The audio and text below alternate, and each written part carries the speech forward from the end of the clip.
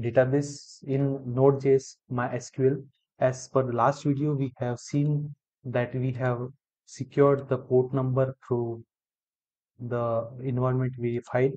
Now in this video, we will check for the database setup in Node.js. So for this, we will go to our uh, website for downloading the MySQL Workbench. So here the official website, you can go and download the MySQL Workbench clicking on downloads.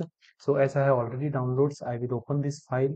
Okay, this is the community edition for 8.0. So here you can click on, after clicking on this, you will get a file as I have seen here. So this is file we have, we will downloading and it is asking for the location, complete setup and uh, we will see that MySQL workbench for database connection with Node.js. So till the time that it's download, we'll see the steps like what we will do. So after database setup in Node.js, what we will do, we will create a schema for the student and after that we will create a table.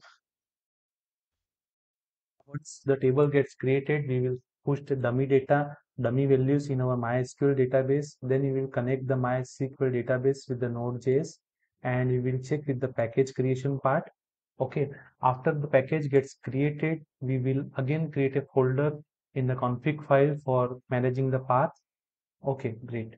So now our Node.js, uh, since the MySQL workbench is uh, created, we will continue with our setup now.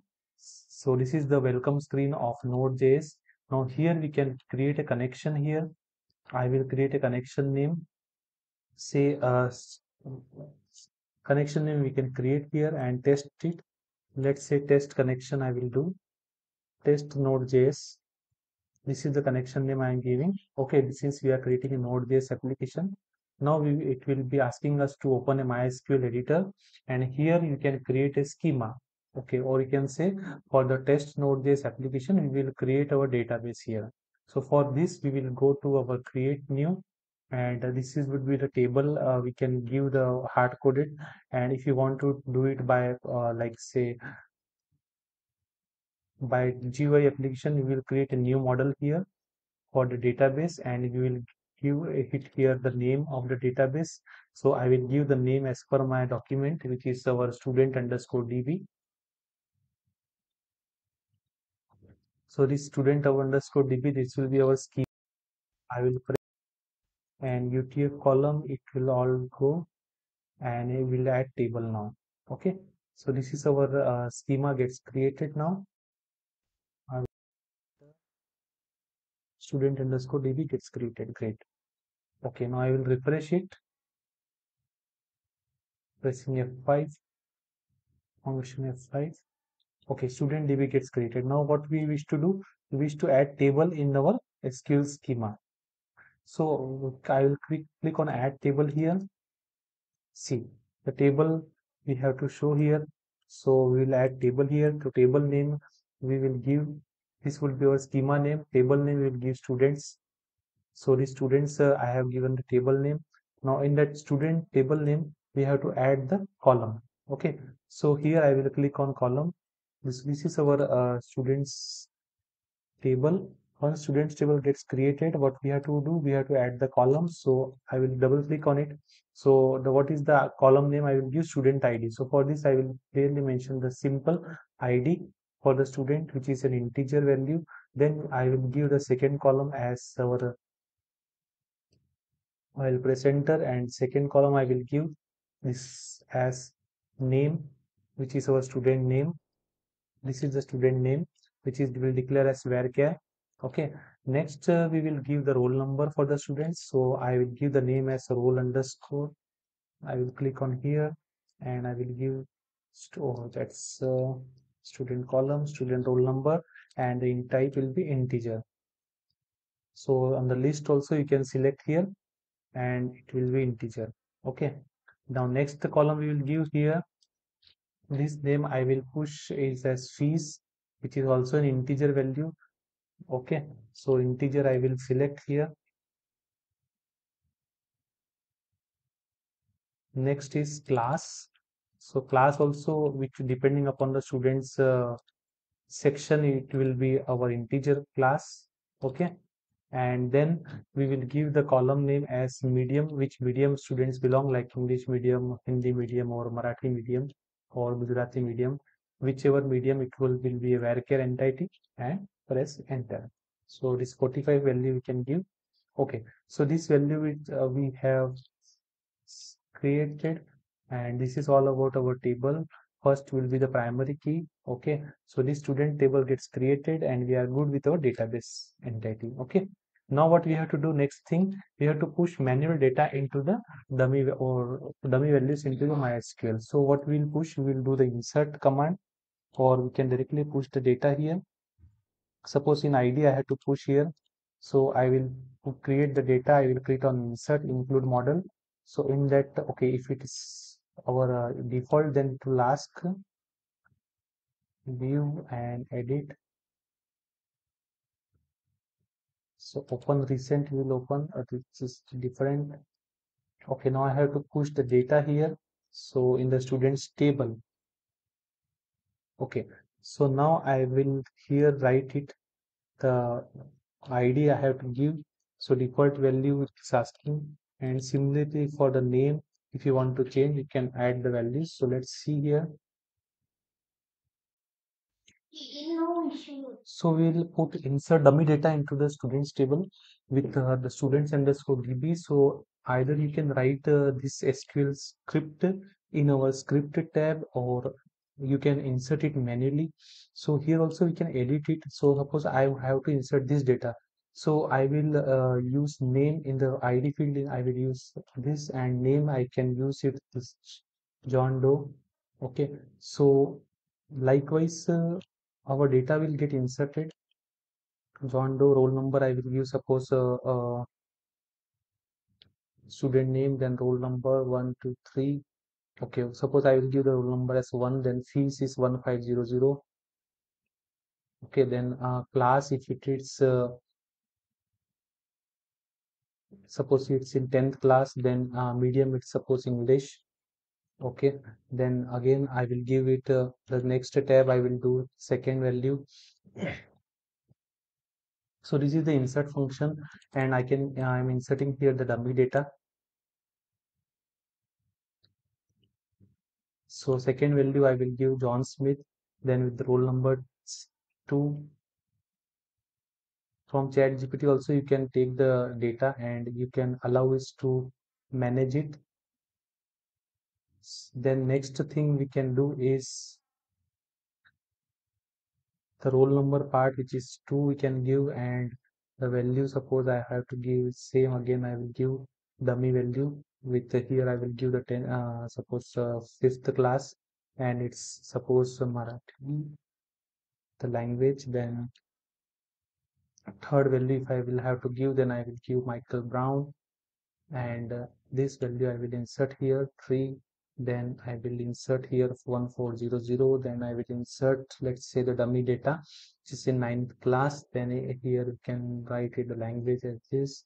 Then fourth one I will do so likewise I can I'm inserting here the dummy data in our uh, database and uh, in that way we will be able to manage our uh, workflow. Okay?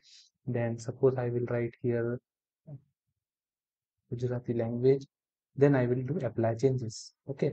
So once that data gets created so we will click on save here in the student table and apply changes to the data okay now we will double click on student table so we have the data now okay then now we will uh, to go to our our database uh, we will check for co connection with mysql database so how the connection will be, we will be doing uh, with the MySQL database with Node.js. Okay. So for that, we have to go to our uh, Node.js.com uh, website.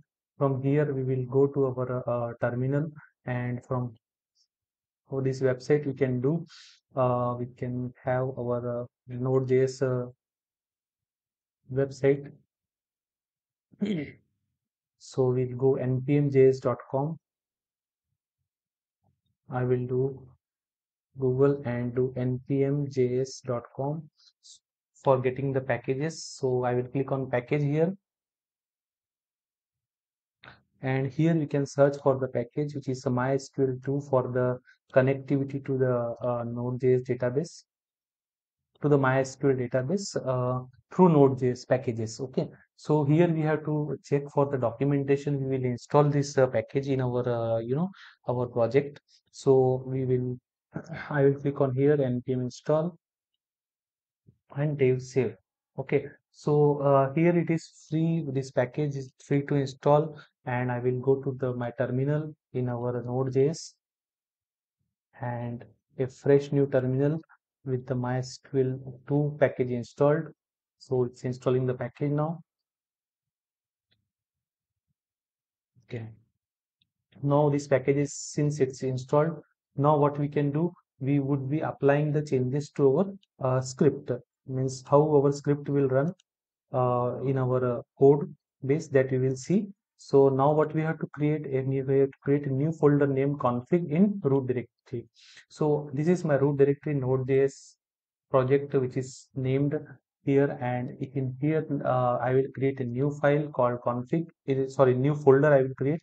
So I will click on the second button which is a folder config. Okay, and in that folder I will create a new file. So what's the file name I have to give db.js. So this file will be responsible for managing the database connection uh, in our uh, root directory in under config folder. And this is our db.js uh, file is ready. Now what we have to do next thing, we would uh, write it in this db.js file. We will include it in our database, uh, the packages, and we will create a uh, MySQL pool to refer the documentation. So for this, I will create uh, a pool, MySQL pool, for which we will be referring our Node.js documentation. So MySQL pool, this documentation, if you will follow how they have managed the connection, we will see here. So let's see with our basics after installation how they have used it in our application so we have to write the first query so this is our connection string and we can give it here our connection pool. So this is a type of connection to the database. And since we have imported so uh, import function we have already written here which is uh, it is would be importing it from this statement. Okay? And uh, server.js we have to import it right? So server.js i will write this statement first because we have to import it to in order to have the connectivity to the database so i will use this command to server.js for importing these packages. Okay now in db.jsp i will create a connection pool. So connection pool uh, we will create it through the documentation which is this the documentation we have. Yeah. and uh, uh, in that way we would be able to manage it. So that name just i will change here. Mysql pool will give instead of connection that will be helpful for us to manage the code pipeline. And next i will uh, give the database. Now in the host name when we go to mysql workbench what is our host name? So we'll have to check the connection here. Okay. So what is the connection here? Uh, our connection is node.js we have given the name as uh, node.js here. New model connection okay this is our model and uh, when we check on our uh, it's asking us to open the model. We can manage connections. We manage connections so which is 127.0.0.1 so this i will copy it from here and put it here. Then username is root. We have the root database name of what we have given. It's uh, our students underscore db okay so database name we will copy it here from our uh, documentation and we will paste it here. This is the database name. And next thing we have so that's all we have to do.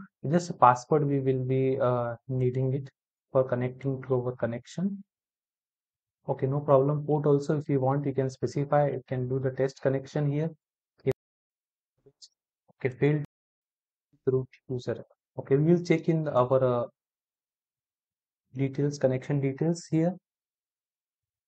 Port also I can specify. 3306 this will be helpful for the database to pull from the okay this I will save it. And next thing what we will do? We will import the MySQL connection and use the query function. Okay, now this query function I will directly copy it and put it in our uh, database. Here I will put it uh, in our server.js file because this would be the connection string which would be responsible for managing it. Okay, mm. so this connection string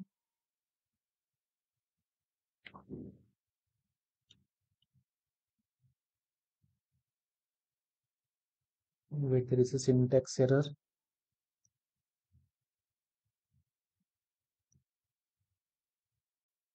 so we will uh, do the connection string in uh, our server.js file. So last in that way we we have configured the db.js file with the module.exports function.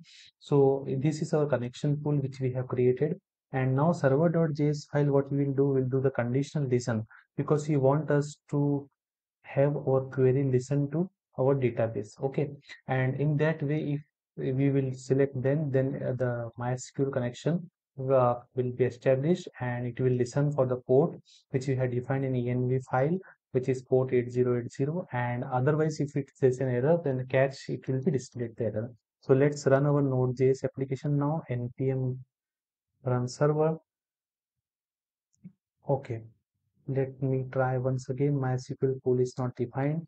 Okay because we have used import also here let's see this import sql and here when we try to import it we used to have import promise. Okay that we have done it already. So let's save it again and try wait me check if it is not there. So our uh, 127.800 test we will try to run our application okay again we will terminate the job and again we'll run the server npm run server. Let's see. Okay mysql pool is not defined. Okay where we have not defined it? Okay here we have to define it. So mysql pool will automatically that variable will come and again the server is restarted. Let's see the file is getting changes. So terminating the job again npm run server. App quest mysql dot query is not a function. Okay dot query is not a function mysql pool. We will define mysql pool and uh, so let's define it as a constant because uh, the value it's not taking it. So we'll define it in constant and because it's not uh, identifying the variable no it's okay. Because we have defined it previously so that's not an error SQL connection. We have imported it. Export mysql to promise. Let me refresh it again. Okay this is not getting the connected. Select one. Create pool is okay database uh, 3306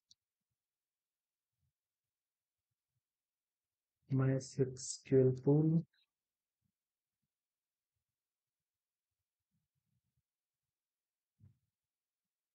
So the console log will come here and the database process dot in the console dot log error. Let's try once again. We will again terminate the job. Let's try run again.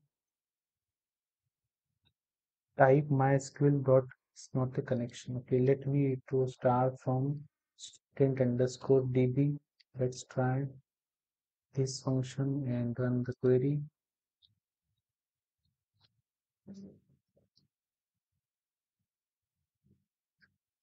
Npm run dev what start from waiting for file changes. MySQL pool dot query is not a function. It's not identifying the function. Okay, we'll check on this on the next video, what we can do the best to solve this problem. So to stay connected for our videos and we will basically create more SQL videos on the MySQL Workbench with the Node.js. So this is all about our database setup in Node.js. We will track this error and we'll check for the solutions. Thank you for watching.